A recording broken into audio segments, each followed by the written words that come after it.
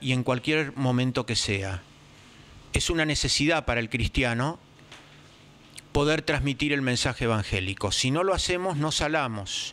No se hace, no se pone una luz para ocultarla debajo del celamín. Ahora en la Biblia nueva que han traducido acá en la Argentina dicen debajo del cajón. Hay muchas palabras que han cambiado, como si fuera necesario reinterpretar a Jesucristo en las palabras que dijo. Jesús dijo celemín. Y el celemín era una medida concreta de, se usaba para medir el trigo, era un cilindro de barro de cerámica que implicaba una medida concreta, era la justa medida. En la medida de cada hombre no se puede ocultar la luz, cada uno tiene que poder llevar la luz de la forma en que puede, de la manera que puede, pero no ocultándola debajo de la mesa o tapándolo con un celemín sino poniéndolo arriba, dice, se pone arriba de la ciudad para iluminar a los demás. Y entonces esto nos llena de esperanzas porque podemos hacer algo. Eh, conversando recién con un, hombre dedicado a los medios audiovisuales, yo le decía que justamente dentro de esta charla había un, un momento que se lo dedicaba a ellos y este es el momento. Existió un importante periodista, Jerry Mander, judío norteamericano, que fue el que dirigió la transmisión de la muerte de John Fitzgerald Kennedy fue la primera transmisión que se hizo global a todo el mundo con los medios que existían en esa época y que también transmitió los hechos del Golfo de Tonkin, por el cual Estados Unidos declaró la guerra a Vietnam. Em, sobre todo este hecho de haber transmitido lo del Golfo de Tonkin, aunque la transmisión de la muerte de Kennedy conmocionó a todo el mundo, hizo llorar a, todo el mundo de la época, a él le llamó mucho la atención. Lo que lo golpeó en la conciencia fue que él había participado del fraude televisivo por el cual se justificaba una guerra cuyo objetivo era vender una cantidad inmensa de armas eh, y que fue una de las causas por las cuales lo van a asesinar a Kennedy, precisamente, que se quería, Kennedy quería salirse de esa guerra, cuando se da cuenta de la gran trampa que había detrás. Él comenta que cuando en el año 1975 observa las imágenes de los terribles bombardeos que ordenó Nixon sobre Vietnam y que no tenían ningún sentido militar, porque no se ganaba ahí la guerra, ya lo sabían, que para ganar la guerra había que llegar a Pekín, no bombardear en, Vietnam, que era lo que decían los generales norteamericanos más, más esclarecidos, como el general Clark, por ejemplo. Él dijo que ahí sufrió un golpe de conciencia tan grande cuando veía las escenas que le llegaban, muchas de ellas censuradas, de la destrucción que había debajo de esas bombas, que eh, terminó con una terrible crisis espiritual. Él era judío agnóstico, no judío práctico, de manera que tampoco tenía reservas religiosas como para poder superar algo de lo que de alguna manera él se sentía responsable directo. Y entonces se dio cuenta del mal que había en la televisión. Y empezó a reflexionar estas cosas, que son discutibles desde el punto de vista filosófico, pero no deja de ser interesante como él lo plantea. Él dice, la televisión no es un elemento neutro desde el punto de vista moral. No es como un cuchillo que si lo agarra un médico, opera. Si lo agarra un ama de casa, hace una cocina una, buena comida. Y si lo agarra un criminal, mata. Pero el cuchillo en sí no es culpable de nada. La televisión tiene una carga tecnológica perversa. Y él dice el por qué. En su libro Cuatro buenas razones para eliminar la televisión, él dice, exactamente da un listado de más de 20 contradicciones, pero que son como esto. El rojo es más fuerte que el azul. El ruido llama más la atención que el silencio. La violencia atrapa más el interés que la paz. La lujuria capta más que la castidad. En una palabra, una, una, máquina que permanentemente tiene que estar a través de un rayo que llega directamente al cerebro, vendiendo productos y estimulando la atención, tiene que deslizarse necesariamente por lo que llamaríamos golpes bajos. Por eso él dice, es imposible que la televisión se mantenga sin caer en la pornografía, sin caer en el sensacionalismo, porque necesariamente tiene que vender. Y como es un elemento que satura psicológicamente, la única manera de superar esa saturación es aumentando la dosis. Por eso podemos verlo, por ejemplo, hoy en el programa de Tinelli concretamente. Cada vez son cosas más groseras, más chabacanas, más provocativas, más porque tienen necesidad de mantener el famoso rating. Bueno, y dice que este engendro tecnológico tan poderoso, que requiere de tanto dinero, de tantas contrataciones, de tantas voluntades, sin embargo, es un Goliat. ¿Por qué? Porque una mentira propagada por televisión, y machacada en todo el mundo, que costó millones de dólares en su producción y de esfuerzo y de todo, puede ser contradicho por una hoja volante bien repartida en todo el mundo. Y él hizo las pruebas él hizo pruebas de, por ejemplo, lanzar una noticia televisivamente y a su vez lanzar la contranoticia por medios muy inferiores y muy pobres y ver cómo se, no solamente se diluía la noticia de la gran campaña televisiva, sino que este, eh, quedaba la televisión dentro de un cono de dudas y de sombra para la población.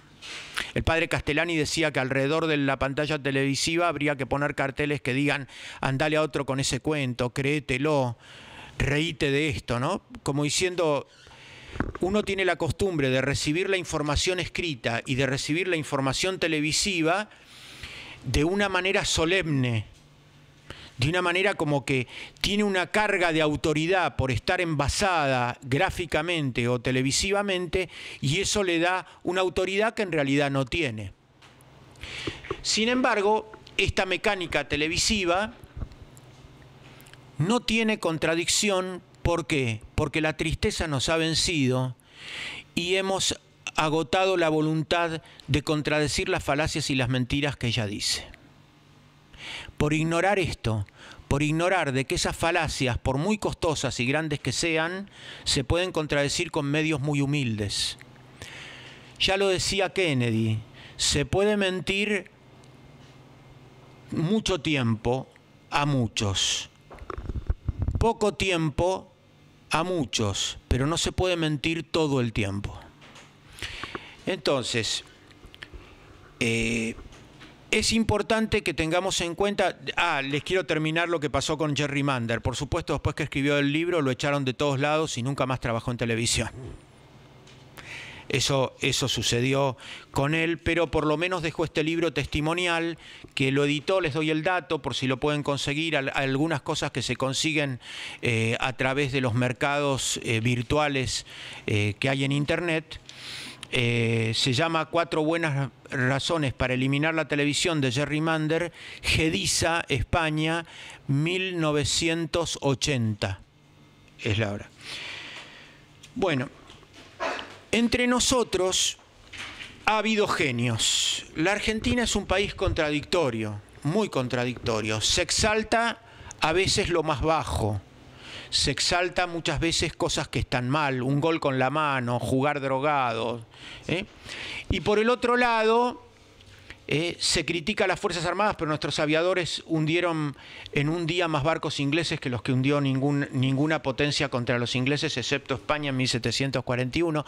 Pero eso es un dato que yo quiero hablarlo en la charla que viene donde voy a tratar de demoler los paradigmas históricos. Ahora estoy más en la parte del pensamiento científico. Hubo en la Argentina genios. El padre Castellani es uno, quizá el más conocido. El padre Membiel en teología, el padre Castellani literato, teólogo, filósofo, profeta. Pero también hay genios menos conocidos que han dejado escuela. La Argentina de un Legarza, que escribió el positivismo y el cristianismo, de un Álvarez de Santa Clara, que en el año 1902 escribió un importante tratado sobre la Iglesia y el Estado, y dio a Carlos Stephen Soler. Este hombre, un verdadero maestro, profesor del doctor Díaz, eh, Araujo, eh, Díaz Araujo, uno de los principales historiadores que tenemos vivos en este momento en la Argentina, eh, le rinde tributo a este genio que fue Carlos Stephen Soler. Fue famoso en su momento en vida por las tremendas polémicas que sostuvo públicamente con Lisandro de la Torre, el de la estación de tren.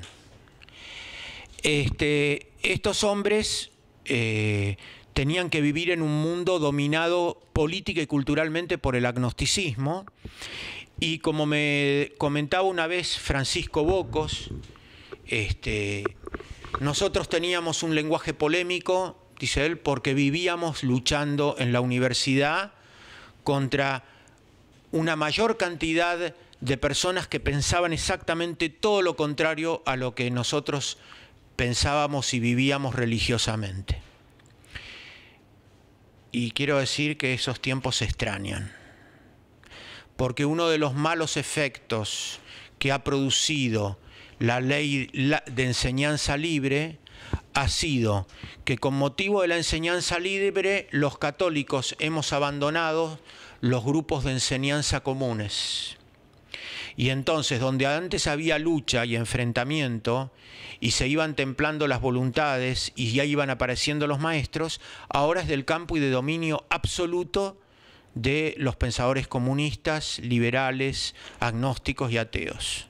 A mí Horacio Salas, en una cena que tuve hace cuatro años con él, invitado por el profesor Enrique Gusoni, tuvimos una conversación, había presentes algunos senadores, en esa cena estaba este, el senador Romero Feris. Horacio Salas había sido el director de la Biblioteca Nacional, un hombre de las letras, del arte, había estado en la dirección también de bibliotecas populares y nos sorprendió a todos. Yo me lo sospechaba, les aseguro que esto me lo sospechaba, pero nunca tenía la prueba. Bueno, él tiene la prueba. Tenía un portafolio fino y le dijo, les voy a mostrar una cosa. Abre el portafolio y saca la fotocopia de un decreto del gobierno español del año 1900 84, 85, esa fecha no la recuerdo bien, por el cual Fraga Iribarne hacía votar una ley de la que se destinaba un porcentaje de todo lo que le entraba a España por el turismo para destruir las editoriales argentinas. ¿Cuál era el objetivo de ellos? El objetivo de ellos era vender libros españoles, que sabemos que están muy bien editados y que, y que son muy buenos desde el punto de vista tipográfico. España es...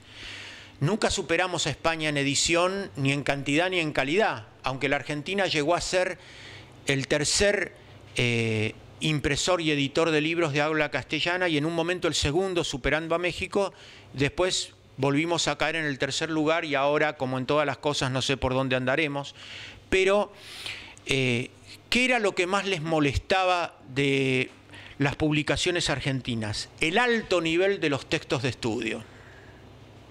Escuchen bien, lo que más molestaba era el alto nivel de los textos de estudio.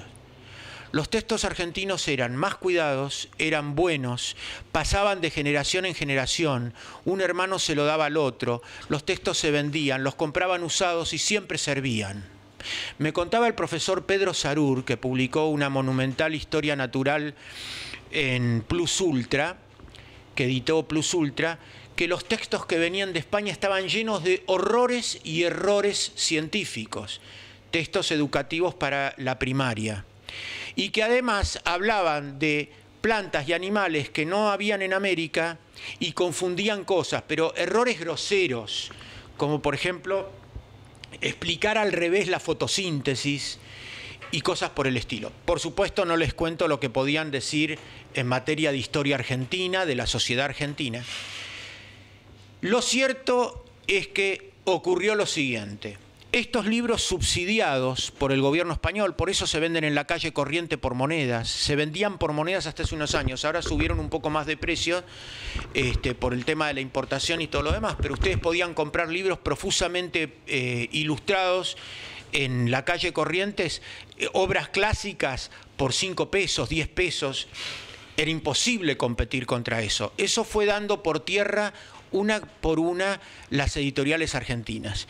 Pero las editoriales educativas argentinas sobrevivían porque tenían una importante tradición entre los profesores argentinos, además de una indiscutible calidad, y porque además había contactos con los colegios y con los ministerios de educación.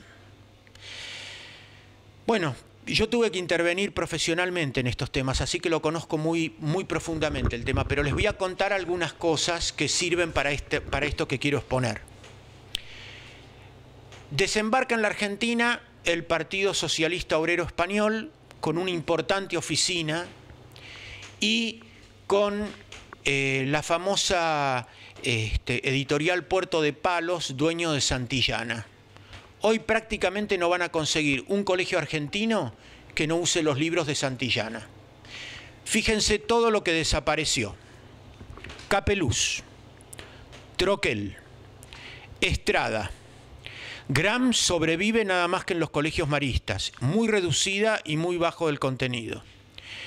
Este, Plus Ultra. De estas que estoy diciendo han quebrado, muchas de ellas y me quedo corto en el, troquel, en, la enumeración. Han desaparecido también las editoriales argentinas dedicadas a la matemática. ¿Mm? ¿Se acuerdan de Cabreri y Medici, de Miguel, Fernández y Galoni? Todos esos autores no se leen más, no existieron, jamás existieron. Todo es Santillana y Puerto de Palos, que es del Partido Socialista Obrero Español. Entonces había que cambiar los contenidos educativos. Entonces no se enseña más historia argentina, se enseña historia de los movimientos sociales argentinos. Y los dibujos son de una muchachada que va llevando banderas rojas. Este, por las calles, esa es la historia argentina. Las luchas este, de los sindicatos, este, alguna referencia al peronismo, por supuesto al peronismo de izquierda, etc. Entonces, a mí que no me digan, yo sé que en este momento me están filmando y grabando, que no me vengan a decir que acá no hay una conspiración o no hay una intencionalidad. También de esto va de la mano destruir la figura del general San Martín, destruir la figura del general Belgrano, este, eh, con el pretexto de humanizarlas, rebajarlas o hacerlas eh, pueriles, eh, con representaciones hasta donde está la, propia presidenta del presidente de la República, eh, haciendo en actos del Estado que son francamente inferiores a los que se hacen en cualquier escuela primaria o jardín de infantes del país. Esto estamos entonces dentro de lo que ocurre educativamente. Pero cuando se cristaliza este proceso que empieza hace 495 años con el libre examen y con la libre interpretación de las escrituras. ¿Cómo viene esta génesis? Y acá entramos sí ya en lo que es más denso y más pesado de la charla. Ustedes saben que el proceso que vivía el occidente cristiano eh, durante los primeros momentos de la Reforma, era de una situación que los que vivimos los años del concilio, este, porque acá hay más jóvenes, pero también hay gente que lo vivió, este, se parecía mucho a ese momento. Se hablaba de que era necesario un cambio, se había, hablaba de que era necesaria una reforma, de ahí el término reforma, que había cosas que estaban superadas, anquilosadas, que era necesario una modificación. Por supuesto que en esta línea se enrolaba mucha gente. Por ejemplo, San Ignacio de Loyola y Lutero. Porque era necesario cambiar las cosas, pero había una manera buena de cambiarlas, que era el estilo de San Ignacio, o había una manera que por supuesto hacía más ruido, más llamativa, que era el estilo de este Lutero. Las palabras, dice Stefan Zweig, un autor muy agradable de leer, este, era un judío austríaco de altísimo nivel cultural, de fin de la época del imperio Francisco José, va a morir en el año 1941 en Brasil, suicidado ante, ante la desesperación por la desaparición de su mundo europeo austríaco. Stefan Zweig escribe una gran cantidad de obras, todas muy buenas, donde da datos muy difíciles de encontrar. Eh, por ejemplo, la vida de Fouché, que nunca leí un alegato mejor contra la Revolución Francesa que ese libro, lo hizo Stefan Zweig. Eh, vino a la Argentina y dio una serie de conferencias, El arcano de la creación artística. Este, y dice, dice Stefan Zweig que eh, esta situación era la época en la que él profetiza también que Brasil iba a ser la nación importante de Sudamérica y dice el porqué. En, en su libro Brasil, promesa de Sudamérica, se refiere obviamente a las cuestiones meramente humanas, económicas y políticas, ¿no? No, no, no, no entra en lo religioso y cultural profundo, pero la pegó, porque mucho de lo que él dice se cumplió. Él escribe la vida de Calvino en un libro crítico que se llama Castalión contra Calvino. El libro indirectamente era un ataque a Hitler, porque con su aguda inteligencia él va penetrando en los orígenes de cómo se engendra un Hitler. Y los orígenes estaban en realidad en la rebelión protestante. La rebelión protestante que va trastocando el orden religioso de las cosas y va imponiendo un montón de conceptos que son antinaturales. Y más precisamente Calvino. Y acá entramos en otro de los temas que son los paradigmas falsos. Les había hablado de las leyendas negras y dentro de los paradigmas falsos está, dentro de la leyenda negra anticatólica, está sobre todo la Inquisición. Bueno, la Inquisición no surge por generación espontánea en un mundo donde eran todos buenos. La Inquisición surge en un mundo donde del otro lado estaba Calvino, estaba Melanton, estaba Lutero, y estaban un montón de personajes que se sentían sin autoridad legítima alguna concebida. En, eh, en el caso de Calvino, el más extremo de todos, en el derecho de otorgar vida y muerte sobre las personas sin juicio y sin defensa, que es lo que le ocurrió a Castalión. Les cuento brevemente eh, este tema. Castalión era eh, un, hombre que había conocido a Miguel Servet en la Universidad de París